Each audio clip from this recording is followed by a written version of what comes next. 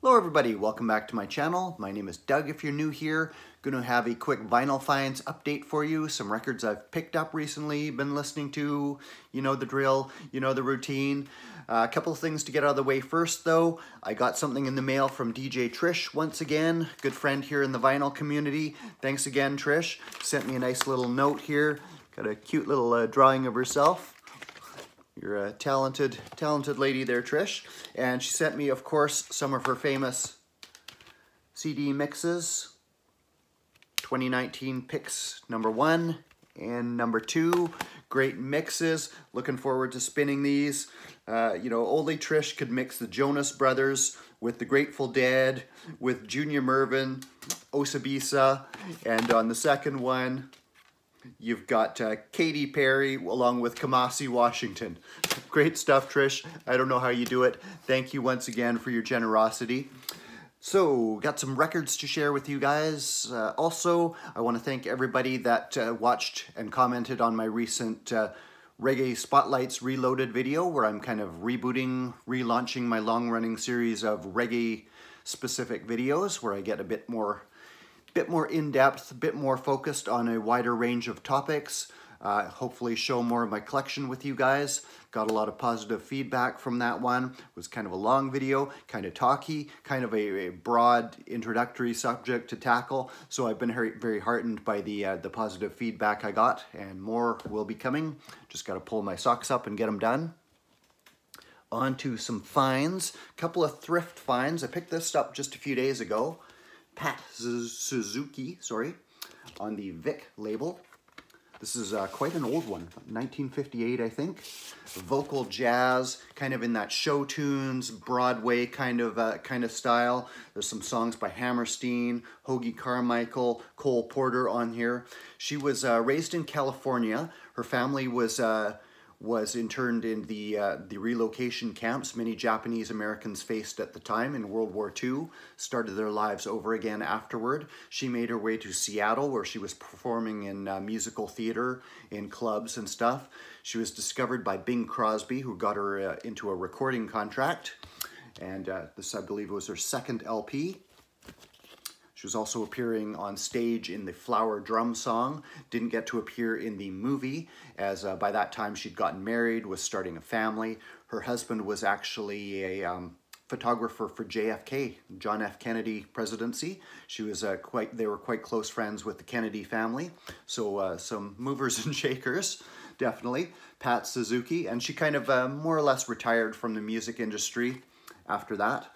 But uh, vocal jazz, she's definitely, you can see her, her roots are in on the stage with some kind of vampy turns on songs like Black Coffee, My Heart Belongs to Daddy. Cool stuff. Pioneering Japanese American, still around today. Uh, another thrift find, and I was uh, kind of curious to come across this one. I'd never seen it before. I've seen their later albums by this artist. It is Joan Armatrading, Whatever's For Us. This is her debut album, very early 70s here. Gatefold Press on A&M Records. Um, she was basically a duo with a fellow singer-songwriter named Pam Nestor at this part. At this point, there's the two of them together. They had met in Birmingham, UK. They both originally had origins going to the Caribbean. They met in Birmingham in a uh, stage musical presentation of the musical Hair. Uh, started working together. They were basically a duo, got signed to a record deal. The record label in the UK decided to focus on Joan as a solo artist. Didn't pick any of uh, Pam Nestor's songs for the album. Didn't pick any of the one the songs where she sang lead. So very much downplayed her contribution. After a couple of years, Pam Nestor kind of got disillusioned with the music business, dropped out. But I was expecting kind of singer, songwriter, folk on here, and it's actually very much in the Elton John sound of the, the period. It's actually even recorded in some of the same studios he was using, like for Honky Chateau and those kind of albums. Produced by Gus Dudgeon, Elton John's producer, and even uh, Johnstone from, uh, from Elton John's band appears on guitar here. Uh, what uh, what had my uh, had me keeping an eye out for this one was there was a song from this LP that was compiled on this three CD compilation I picked up a while back, Dust on the Nettles. song called Visionary Mountains, which is on this LP, which has sitar and this kind of psychedelic psychedelic uh, poem song, and it described this LP as acid folk, which is a bit of a stretch. It's a singer-songwriter pop in the Elton John style of the time with that kind of honky-tonk kind of piano going on, but nice to find. Uh, another thrift find, some Latin music, Perez Prado, still in shrink, nice copy on RCA Victor. Uh, this includes uh, just swinging Latin sounds. Also includes the uh, Peanut Vendor. Where is it? It's on here. The Peanut Vendor, originally written in Cuba in the 1920s, uh, was brought to Jamaica by the Skatalites. Uh, saxophonist Roland Alphonso was he originally from Cuba, was covered in Jamaica in the early 60s and uh, would be covered thereafter ever on. I think the most famous version is uh, Gregory Isaacs' Top 10, which the music is derived from that Cuban peanut vendor. Little known Latin influence on reggae. Uh, cheap bin find at a local record store. One of my last uh, trips down into the city. Niemen Czesław, kind of psychedelic cover there. This is Polish rock. And uh, I knew who what this was because I thrifted this album a couple of years ago. Complete blind buy, but it looked interesting. And that's a Polish pressing. Nice uh, garage kind of rock, late 60s sound with um, blue-eyed soul, R&B influence. Lyrics all in Polish, so I can't really understand any of it. But uh, Czesław, quite well known, and his band Akwarele, late 60s Polish rock and roll. Some more late 60s rock. Found this on my trip into the city in the New Arrivals bin. It's a 2008 reissue of an album that originally appeared in 1968. SF Sorrow by The Pretty Things. Only ever heard of this LP because of the vinyl community. I've seen it talked about, posted. Psychedelic album from the UK. The Pretty Things were a band that uh, had its roots kind of in R&B, blues-influenced rock. By the late 60s, they were going psychedelic. John Twink Alder was a member of the band at that point. I showed his album uh, Think Pink a few videos back. Uh, this has been called one of the first concept albums, if not the first, predated The Who's Tommy, and uh, with all the songs telling the story of S.F. Sorrow, aka Sebastian F. Sorrow, as it goes through his life and all the tragedies that happened to him. Kind of a kind of a downer thematically, but um, uh, lots of psychedelic rock, lots of freak out guitar, uh, kind of Beatles-esque melodic hooks in the style of uh, their albums of the time. Cool LP from them. 2008 reissue. Originally appeared on the U in the US on the Rare Earth subsidiary of Motown. Uh, picked up this 12-inch single. It is Sheila Rickards meets King Tubby, getting into a bit of reggae. It uh, originally came out as a 10-inch release a couple of years ago with a slightly different track listing. This is a very obscure song that only appeared on a uh, Canadian various artists compilation in the 1970s, Bunny Lee Productions. There was one song by a singer mis in classic Jamaican fashion misspelled as Shella Record. And uh, there was a song called Jamaican Fruit of African Roots with an accompanying dub version. Uh, many years later, a Toronto DJ by way of uh, uh, by way of Australia named Chris Flanagan found that LP for 10 cents in a thrift store, became fascinated with that song by Shella Record, and uh, embarked on a years-long quest to find out more about this obscure singer. He's actually uh, started up a record label he named Shella Records in, uh, in reference to that song. Reissued this 12 inch very recently. The original 10 inch release of that song goes for quite a bit of money now. But a uh, beautiful label he designed there. Shows up, Shella Records out of Toronto. He's uh, currently on tour with a documentary film detailing his search for uh, more information about Sheila Ricard, Rickards, that he, uh, um, documentary film that he completed last year, 2019. It's uh, playing in select cities and tells the story with uh, live action combined with animation, I believe. Chris Flanagan, cool guy. He's also put out a couple of 7-inch single releases on the Shella Records label out of Toronto.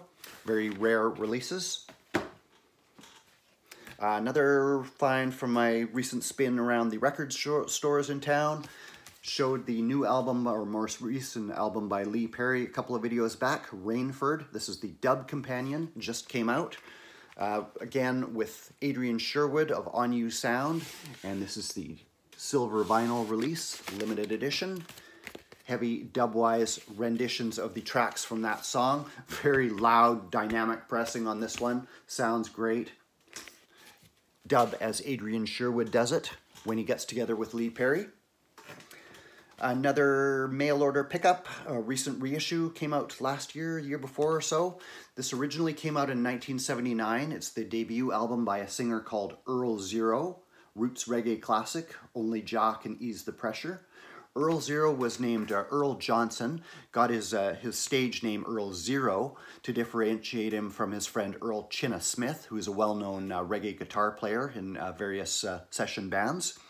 When he was uh, breaking into the music business, producer Bunny Lee gave him the name Earl Zero, as uh, Earl Johnson's uh, father was a fisherman who worked out of a wharf called Zero Wharf, so Earl Zero. But uh, singer-songwriter, uh, he actually wrote a song called None Shall Escape the Judgment, recorded it for producer Bunny Lee. It's his first recording, I believe. Uh, Bunny Lee heard a more commercial sound with another singer he had, Johnny Clarke. So he got Johnny Clarke to do over the song None Shall Escape the Judgment, turned into a smash hit, kicked off the flying cymbal sound, which uh, Bunny Lee took to the top of the charts. Earl Zero was left to uh, carry on as a journeyman singer-songwriter, recorded for various producers before landing at Bertram Brown's uh, Greenwich Town, Kingston-based Freedom Sounds label, which put out the songs included on this LP release. It's a reissue from Iroko Records out of France, just came out uh, very recently. Roots Reggae Classic was also released in the UK on the Student label with a different title and cover, and some of the dubbed versions of these songs, they were sent to King Tubby's, where they were uh, cooked in the dub King Tubby's dub pot, brought to a simmer and uh, and re redefined, rehashed, brought to uh, fruition, you might say, from King Tubby. And some of those dub versions appeared on the Blood and Fire Freedom Sounds and Dub release from the 1990s but crucial roots reggae. Earl Zero later relocated to California, where he's remained ever since. Uh, online pickup here, Dr. Alimantado. I think this is around 1979. King's Bread, also known as Jah Love Forever, after the best song on here. Jah Love Forever. Winston Thompson, Dr. Alimantado, perhaps best known for his LP Best Dressed Chicken in Town, which is a very early release on the Greensleeves label out of the UK. This is a slightly later one on his Ital Sounds label. Uh, he was DJing on that Best Dressed Chicken in Town LP before switching to kind of a singing style, which he does on this album. Great roots album of the time. I've been getting into picking up more Studio One records for my collection. Uh, this is an online pickup recently. The Heptones, originally released in 1968. This is a later pressing on the Studio One Black Ribbon label. Heptones, classic, classic album from one of the great Jamaican harmony trios, Leroy Sibbles, one of the great singers in Jamaican music, as well as an accomplished bass player. Arranged many of the classic Studio One hits, and this is uh, one of their best albums, chock full of classics. At least half the songs on this album would have to appear on a Best of the Heptones compilation. You've got Equal Rights, Pure Sorrow, Heptone's Gonna Fight, uh, Party Time, uh, just straight classics. Rocksteady going into reggae, originally released 1968, one of their uh, absolute essential albums. And speaking of essential albums, uh, early in my vinyl community days, I did a spotlight, one of my, probably one of my very first reggae spotlights on Dennis Brown. Uh, one of my glaring omissions from my collection was his debut album. I've finally added that to the collection very recently. No Man is an Island. This LP originally appeared around 1972. Songs recorded when he was uh, just about 13 years old. Incredibly mature voice for the time, for his age. His debut album, No Man is an Island. This is on the standard Studio One label, later pressing. Uh, great bass, bassy sound on this one. Pure classics, title track, also created by the father. Make It Easy on Yourself, some of his most iconic songs. The Crown Prince of Reggae has been called.